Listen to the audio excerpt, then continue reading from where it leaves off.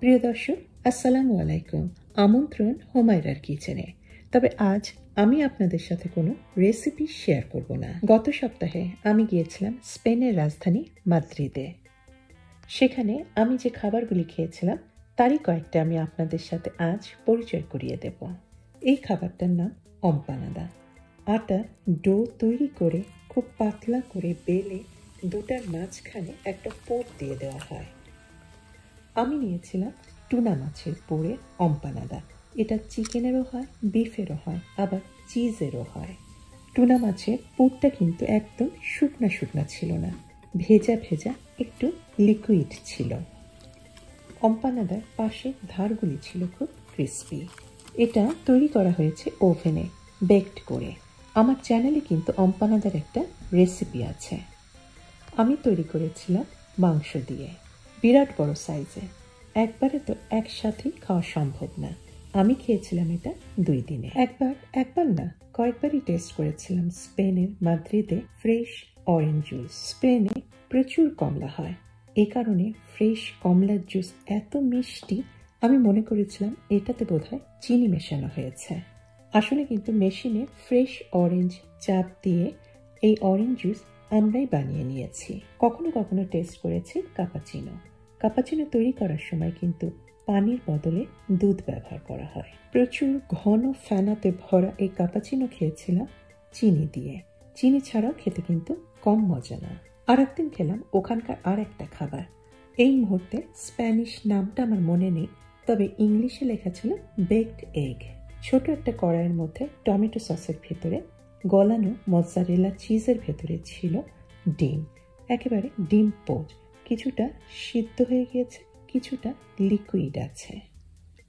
ডিমের সাদা অংশটা বেশ রান্না হয়ে গিয়েছিল, কিন্তু কুসুমটা মোটামুটি লিকুইড একদম তরলই ছিল। আর উপরে ছিল মিষ্টি ছোট ছোট চেরি টমেটো।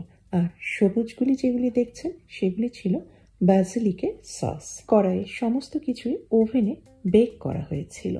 আর পরিবেশন করা হয়েছিল এরকম একটা রুটির টুকরা দিয়ে। একদিন ডিনারে ছিল। ভীষণ পাতার মতো পাতলা করে চিকেন ব্রেস্ট কেটে শুধু লবণ আর তেল দিয়ে একটু তাওয়ায় সতে করা আর পরিবেশন করা হয়েছিল। বিভিন্ন রঙিন পাতার সালাদ, সাথে ছিল পেঁয়াজ আর টমেটো।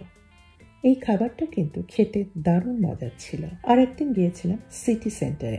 ওদের সিটি সেন্টারটার নাম ছিল সল এস ও এল ওখানে একটা কনফেকশনারির দোকানে দেখলাম থরে থরে সাজানো আছে বিভিন্ন রকমের বিস্কুট।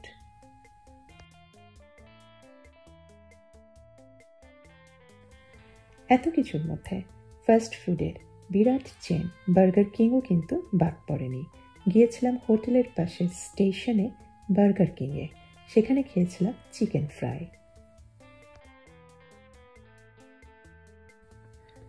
মাদ্রিদে একবার চাইনিজ রেস্টুরেন্টেও যাওয়া হয়েছিল। খেয়েছিলাম noodles with mixed vegetable and prawn.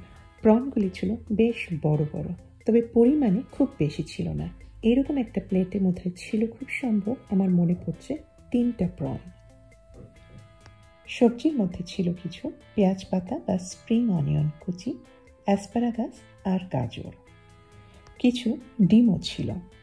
এই নুডলসে স্বাদটা ছিল কিন্তু খুব মজার।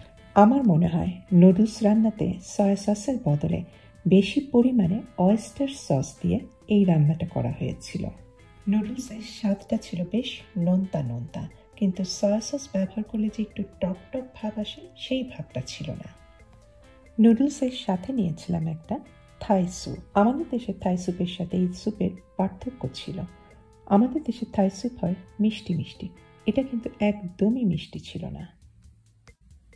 স্যুপে লেবু খুব পাতলা করে স্লাইস করে দিয়েছিল। দিয়েছিল চিংড়ি মাছ, মাশরুম, ছোট ছোট টুকরা করে। লেবু পাতা আর যথেষ্ট পরিমাণে ছিল লেমন গ্রাস, পাতলা পাতলা স্লাইস করে কাটা। স্যুপ লেবুর টক স্বাদে আর লেমন গ্রাসের গন্ধে ছিল ভরপুর।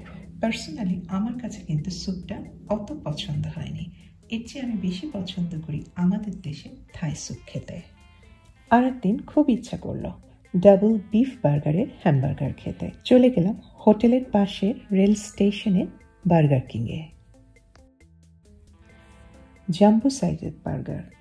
ডাবল বিফের বার্গার মাঝখানে ছিল পনির সালাদ আর একটা পুরো ডিম পোচ। বার্গারের রুটি দুটা একেবারে নরম তুলতুলে। কামড়ানোর কোনো দরকার নেই। মুখে দিলে মুখেই মিলিয়ে যায়।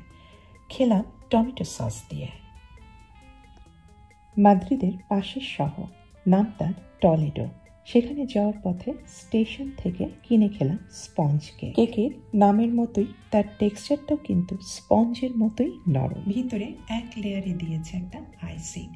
আইসিং হিসেবে দিয়েছে একটা ফলের জেলি বা জ্যাম। কেকের উপরে দিয়েছে পাউডার সুগার দিয়ে তৈরি আইসিং। আর ছড়িয়ে দিয়েছে কিছু কোকো পাউডার। অসম্ভব মজার এই স্পঞ্জ কেকের স্বাদ আমার মনে থাকবে অনেক দিন টলেডো শহরে পৌঁছে খেলাম স্পেনের বিখ্যাত খাবার, তাপাস। আমি নিয়েছিলাম চিকেন তাপাস।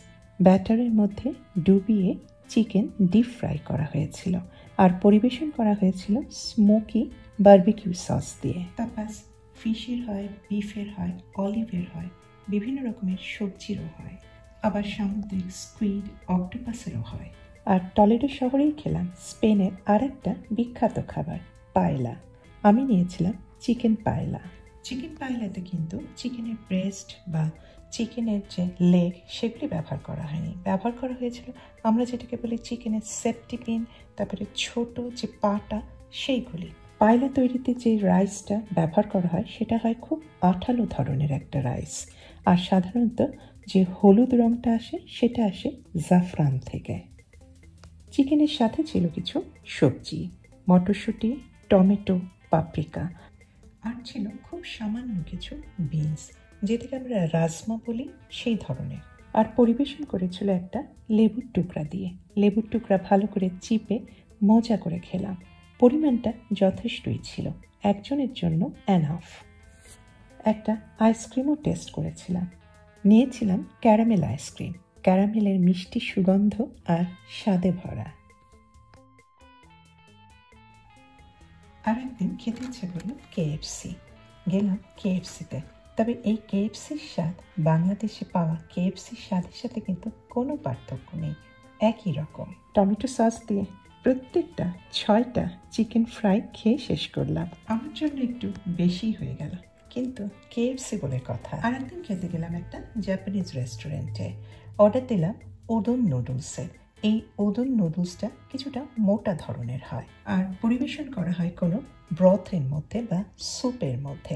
আমি নিয়েছিলাম chicken udon noodles chicken breast ভেজে লম্বা লম্বা করে স্ট্রাইক করে কেটে দেওয়া হয়েছিল আর দিয়েছিল কিছু সবজি।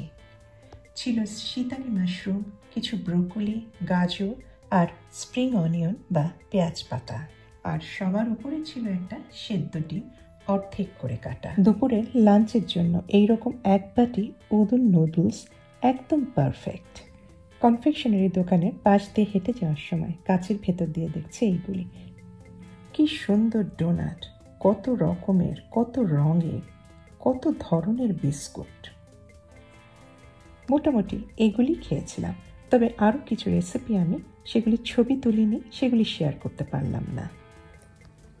তবে আমার মতে, যে খাবারগুলি খেয়েছি, সেগুলি রঙে, বর্ণে, গন্ধে আর স্বাদে অতুলনীয়। আশা করছি আপনারাও পছন্দ করেছেন আমার আজকের এই নতুন ধরনের ভিডিওটা। তাহলে আজকে এখানেই শেষ করছি। ফিরে আসছি খুব তাড়াতাড়ি আবার আগের মতোই নতুন কোনো খাবারের রেসিপি নিয়ে। ততক্ষণ পর্যন্ত সবাই ভালো থাকবেন। আল্লাহ হাফেজ।